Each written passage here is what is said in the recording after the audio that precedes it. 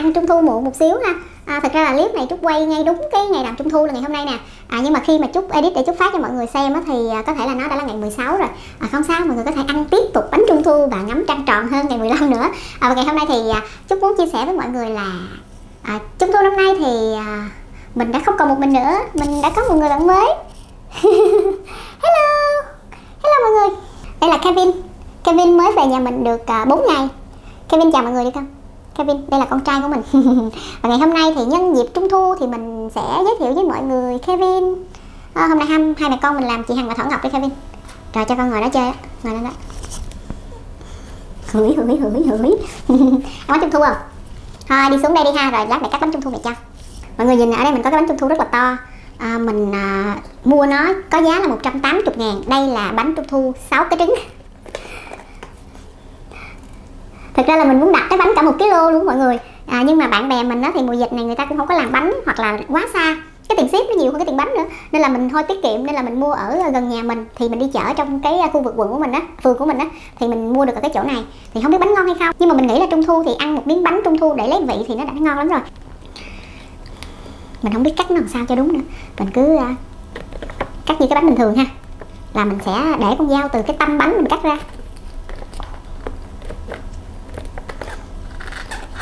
Mẹ mình nói tụi cái bánh này ăn xong hết.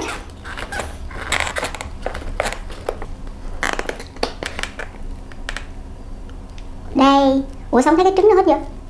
Cái khúc nào có cái trứng nè đây cho mọi người để mình bưng nguyên cái bánh lên cho mọi người coi. Ui cha cha cha cha. Nè mọi người. Mình, mình bẻ nó ra cho mọi người coi bánh ở trong nha. Coi trứng ở trong nha uh. cắt bánh trung thu mà như cắt bánh sinh nhật vậy mọi người. À, mời mọi người nha chúc mọi người có một mùa trung thu vui vẻ. Và lúc nào cũng sẽ có nhiều niềm vui và sức khỏe ha. Ăn thôi nào. Kevin ăn không? Kevin mọi người.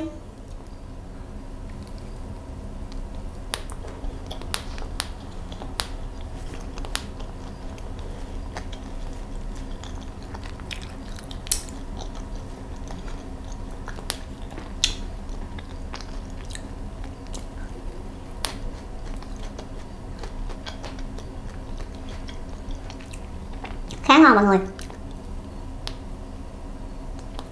Đúng với cái vị à, bánh trung thu truyền thống luôn á. Ngon quá. Hôm nay trúc không có dám pha trà. Tại vì, á, mấy lần mà trúc uống trà hay là uống trà sữa, trúc bị mất ngủ. Mà kêu là trúc mất ngủ kinh niên rồi đó. Có nghĩa là lúc nào cũng tới sáng mới ngủ. Mà như vậy thì nguy hiểm cho sức khỏe quá. Ờ, ừ.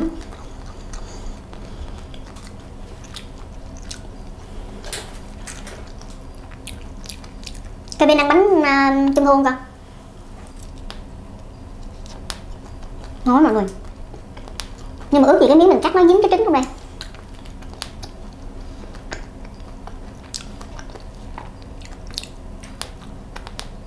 Mọi người có nhìn thấy bông sen không? Cái này là bông sen ở nhà mình đó Ở trước nhà mình có cái ao sen nhỏ. Mấy bữa nay á, nó nở quá trời nở đẹp.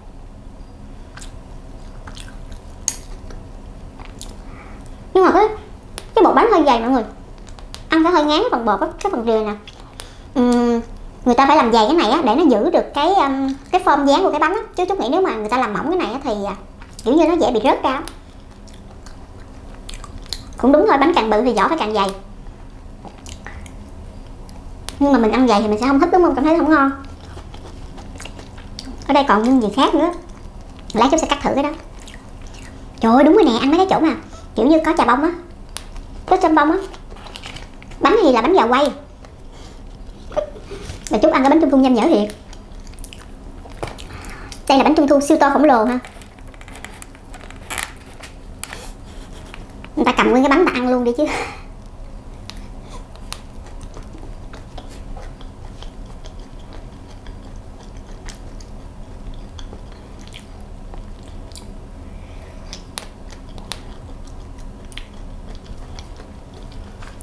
Mới mua được hôm qua.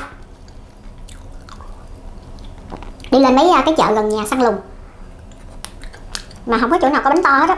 Toàn là bánh như vậy hoặc là bánh ừ, bánh nhỏ hơn, bánh 100 gram á. Chút thì thích cái bự.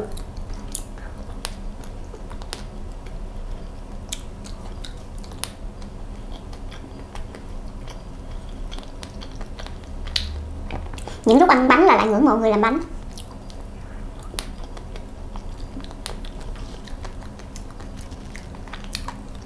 cái bên ăn bánh không cái bên đó cố tình cắt chỗ này cho nó được dính cái trứng rồi mọi người nó dính được hai cái trứng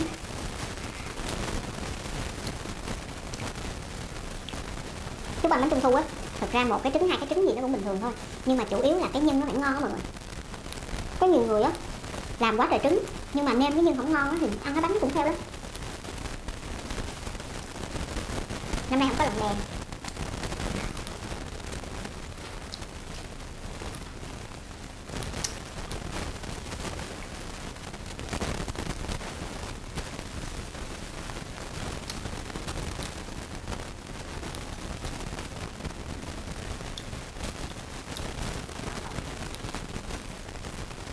cái trứng muối này ngon à. Nó mặn. Nó mặn quá luôn á.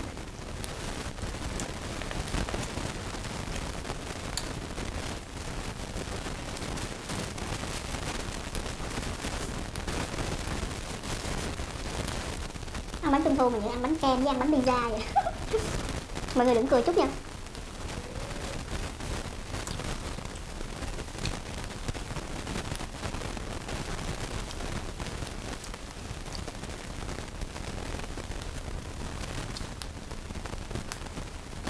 Chỗ ngọt bột dày quá mình không? Ăn bây giờ mình sẽ cắt cái bánh này cho mọi người coi. Mình không biết nó là nhân gì, mình nhớ nó là nhân ngọt thôi. Ồ, nó là nhân dừa. Đây đây đây đây đây. Nhìn nhé. Hey. Đó. Nhân dừa. Một cái như vậy mình mua là 60 ngàn nha mọi người. Có trứng muối trong này nữa nè nhưng mà mình sẽ cắt một miếng cái chỗ à, không có muối nè, không có trứng muối nè. Tại vì nó không ăn mà nó đi vòng vòng, nó tham quan. Lần đầu tiên nó được xuống đây. Chút nhốt ở trên phòng không mà không có cho nó đi xuống đây, tại vì ở nhà có nuôi con bé chó mà bé chó nó bị bò chết rồi rồi đem nó xuống đây nó bị lây. Mười mấy bé mèo bên kia là bị lây bò chết hết rồi đó. Bắt kiểu gì cũng hết, tắm xịt kiểu gì cũng hết. Giờ đang chờ thuốc, đang chờ hết dịch để mà kiếm thuốc. Còn em này là phải cách ly. Và mọi người ăn thử bánh dừa nha. Uhm kiểu dẻo mà hồi đó con nít á, mình còn con nít mình hay ăn quá à. như vậy. Ừ.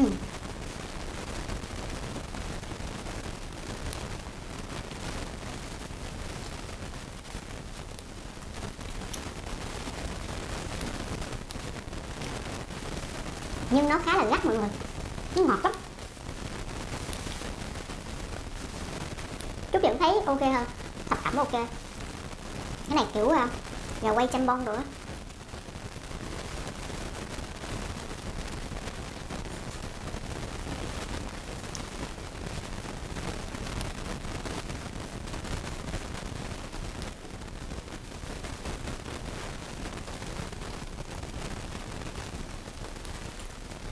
Cái này là ăn chơi ăn vui ăn lấy vị. Chứ bạn phải ăn để no mọi người.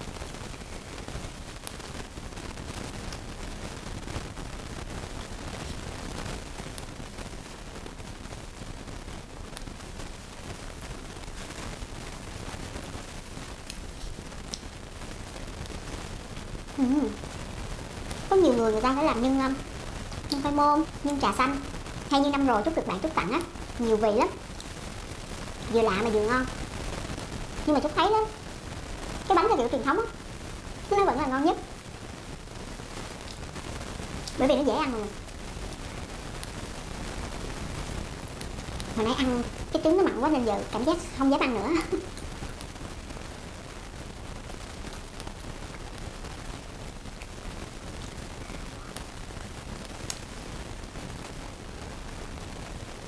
thôi trừ cái trứng này mặn lắm. Bánh trung thu là chúc ăn vô đây xong rồi đó.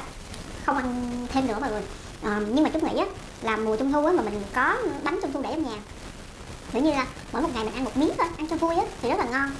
Hôm nay mua được cái bánh to dài khá là ưng. Nè tính ra nãy giờ chúc ăn được như đây nè mọi người. Đó cái phần lõm trắng này là chúc ăn đó. Bây giờ mình sẽ tráng miệng bằng nào? trái cây. Hôm trước á chút chúc xem ở trong một cái hội nấu ăn á mấy cái chị mà chia sẻ bí quyết nấu ăn nữa. Ừ, thì mấy chị nói là cắt ca mà cắt theo kiểu ngang ăn cũng dễ lắm thì nó giống như là khi mà mình cắt cái phân cam tròn á thì mình ăn vậy thì nó sẽ dễ lấy hơn. Mọi người bổ ngang bổ dọc gì cũng được miễn là mọi người ăn thấy ngon thấy vui là được ha. Ừ, ngọt quá.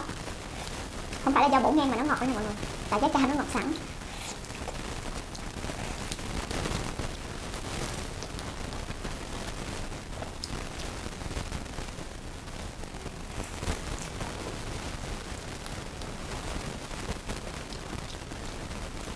cái này người ta gọi là cam xoàn đúng không mọi người?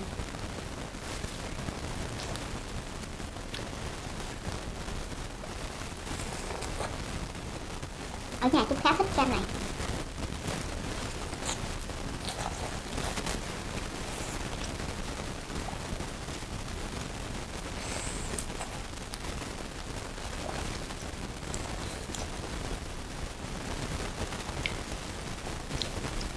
Mình gọt cam này nó có mấy cái hộp to to mọi người. Mẹ mình cũng lấy cái hộp là mình trồng. Mà mình không biết trồng lên không. Nhưng mà mùa dịch á, mà mẹ có cái niềm vui trồng trọt thì cũng cũng cũng cũng hay đó mọi người. Mấy người trẻ như mình á, được ở không thì thấy sướng ha. Nhưng mấy người lớn tuổi họ ở không có quen. Họ lao động, họ làm rất quen rồi nên là ở không thấy buồn đó